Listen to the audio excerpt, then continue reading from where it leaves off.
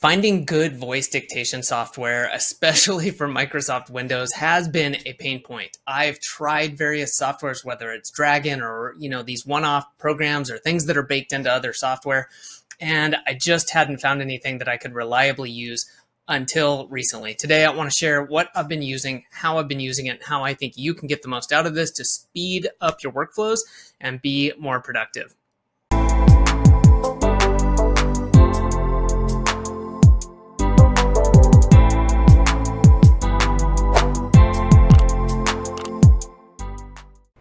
Okay, we are going to start with a little bit of an example just to kick things off and to show you what this can do right away. It's already running on my computer. We'll get into more of the details about what it can do, how it works.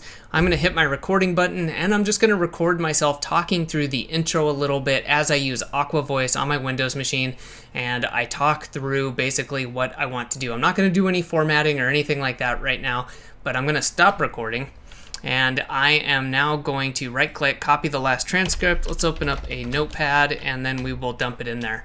And it has got it going right there, exactly what I was saying. It works really, really quickly. Now, what you can also do with this is you don't have to right click and copy and paste. You could have it in a text prompt Maybe um, you're talking to uh, a Google Doc or you're using um, Notion or anything else, and it will just dump the text into what you're using. It is super, super handy, it's fast, and as you can see, it works really well.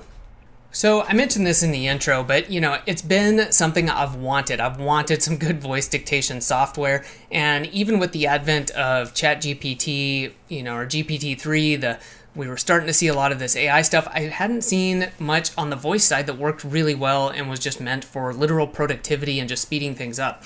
And I, with Aqua, this has changed. Um, I, it's a tool that I'm using regularly. Um, again, I have tried various tools over time, and I just haven't found anything that was kind of push button easy. Um, I don't want to have to uh, build something myself. I want something that's native to Windows and just works. And this is uh, available on more than just Windows, but for myself on my desktop, that's what I use. And it has just been really, really nice. So that's what we're going to be talking about some more today. So instead of me trying to pretend like I understand everything that's going on behind the scenes with this, I do want to hit some of the high points. Um, and, you know, I'm going to rely on what they say here um, about the fusion transcription and the client context engine because all that means to me and all it needs to mean to me in a good way is that it's the most accurate speech to text uh, system that I've seen and that I have personally used. And what I like too is that it can have context based on what's on the screen, the application that you're using. Um, and you can also use, um, and this is a big point, I'll probably come back to this later, but you can use natural language to do formatting. Uh, there isn't, you know, like a set um, keyword that you have to use to do something. Like you don't have to say insert bullet point you know uh, format or something exactly like that in order to get it you can be talking and be like oh that thing i just mentioned put that into bullet points. And it's going to get it from the context and do that. So uh, really powerful really nice to be able to do this and it does allow you to be more relaxed and just you know flow from the mind instead of having to kind of thinking about how you're doing it, which for me was a hangup with a lot of voice dictation software is very difficult to even try to format. I basically gave up and never, you know, learned the right keywords or anything because I basically had to relearn it, it felt like. So it wasn't to me a great way of doing it. Um, also, their latency. This is really, really fast. Um, I've been enjoying this. It's it's fast. I record something, even if it's several paragraphs. I stop recording, and it's literally just a second or two, and it's done. Um, so really enjoying that. So let's talk some more about uh, some of the features. I'm going to bring into the window here. We're going to see this is the actual application window and we've got a few settings okay you can um, you can change the hotkeys you know buttons things like that you see of course it doesn't have to stay the same you can hold F8 to dictate into any text box obviously you need to use your mouse your trackpad whatever to click into it or you can just record and then copy it out and put it into something as well. Uh, something else you can do is double hit the activation key and it will just stay on until you hit it again to stop it. So for example, if you're going to be talking for a while or you need to take a pause, you could just leave it on, you know, talk through it, think through what you, you know, you need next, talk, and then when you're done, hit the end. And that can be really handy. And the way um, that billing works, depending on what plan you use, it's based on uh, words. So it doesn't matter if you take a break, um, you know, for 30 seconds. It's not like you've got a timer counting down or anything like that. Over here, um, you've got deep context. You can turn this on or off. I mentioned this where you can use the context from your screen to boost transcription accuracy. Um, so, you know, it gives a little literal context of what it is that you're doing in case there might be some language, some verbiage that uh, otherwise may be confusing. Um, uh, the, show the floating bar, that's what you see down here. Um, so you can click to start the dictation or you can hold your hotkey down or double tap it. Um, and then you can turn sounds on and off, which can be handy to let you know things are actually happening. All right, let's move on to dictionary. I just added my name, um, but you can add words. If you're maybe uh, working with um, something that's fairly niche and you have some uh, vocabulary that may not be well understood or it's hard to pronounce, things like that, you can add that in there. Um, that could be really handy. I haven't had to make uh, big use of that, but I really understand, you know, the um, the power behind that. And then custom instructions. This is great with any AI tool as you um, go on in time, you can add to this and make it more and more powerful. Uh, so I said, you know, don't start sentences with and or because. I just a formatting thing. I could probably take that out and be just fine. Um, I did put this in when I'm dictating into Chat GPT, Claude, or any LLM. I just want the transcription in case I use the word, um, you know, prompt or I do something. I generally want exactly what I'm saying to be put into there. Um, and then I also like text broken into paragraphs, and it understands how to do that and just naturally breaks the text into paragraphs instead of getting uh, one big long chunk of text. Um, in the history, you can look into this, and you know you can go in here and um, you know you can copy it back out. You can delete it from your history. Um, you can give feedback, which is really helpful. And basically, that's it in terms of what you need to configure.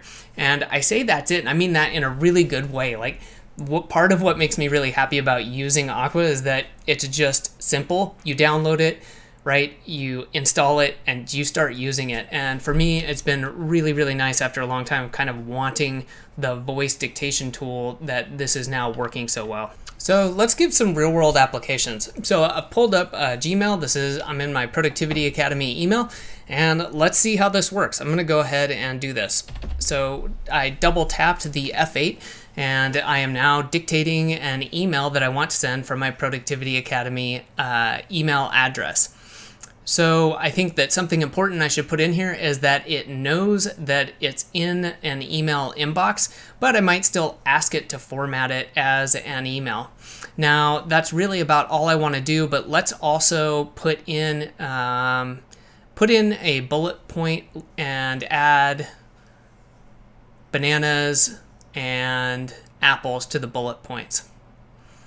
Format this like an email.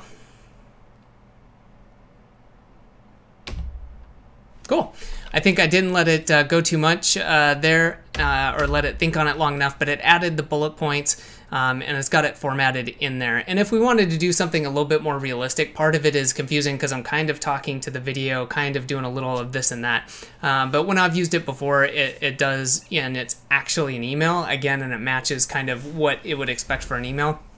It's done a really, really good job, um, including a sign off with my name. Um, so let's talk about a couple more ways you can use this. In the background, I have brought up Cursor. Uh, it's a program that I've been trying out for building some helpful scripts, things to do things like what you see on here is a Python application to create summaries of video content. And over here, I can put in and talk to it and have it do things for me. Um, so let's record something like this. I would like to add on to this Python application and add a nice user interface that is filled with smiley faces so that the person using it is very happy.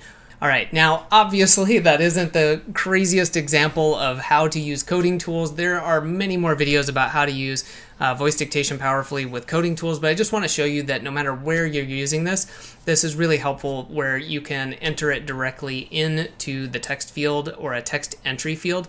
And you could also just sit back and kind of have a conversation. And I think that that's important to realize again, whether you're using uh, an LLM, whether you're using a tool that has it, or you're just trying to brain dump. And I think that that is, again, one of the really powerful ones where I talk about this a lot in the context of journaling getting things out of your head that maybe you wouldn't have the time to write down. And one of those things that comes to mind for me that I used voice dictation for today uh, was a doctor's appointment, and I just wanted to have the notes from myself about what happened during the doctor's appointment and things I wanted to remember for next time.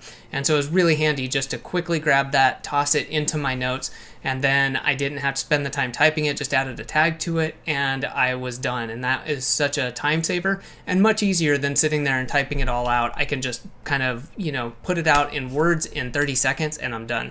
So overall, I would say that this is uh, a big time saver for me. I haven't been using it long enough to give an actual quantitative number to this, but what I can say is it is making things much easier and smoother um, when it comes to text entry and especially things that I need to think through and I no longer have to take the time to maybe write part of it out, go back and edit. I can kind of do a lot of this on the fly and then sometimes just clean up uh, the text when it comes out.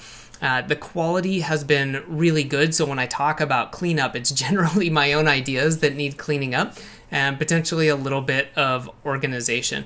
Uh, it's also nice too where maybe it's later in the day and either my you know my hands are getting tired, anything like that. Where if I've been on the computer all day, it's nice to just turn this on, talk, have it do its thing, and then go on from there. So I would say that this is a great tool if you're like me, if you're on the computer a lot, if you're using a, uh, anything conversational, um, especially large language models, or if you're uh, doing a lot of text entry that is based on your own thoughts, that could be task delegation in a team. Um, where it needs to be written down. Perhaps you're putting into into project management software for a team. Uh, if you are dictating uh, emails, or just about anything else. I think that this is, is such a smooth piece of software that is going to enable uh, your productivity to really increase. So I would just say check it out. And if you have any questions, comments specifically about Aqua, how I'm using it, how you could use it, um, things maybe I forgot to include that you think would be interesting, just leave a comment below and I will get back to you. Thanks for watching.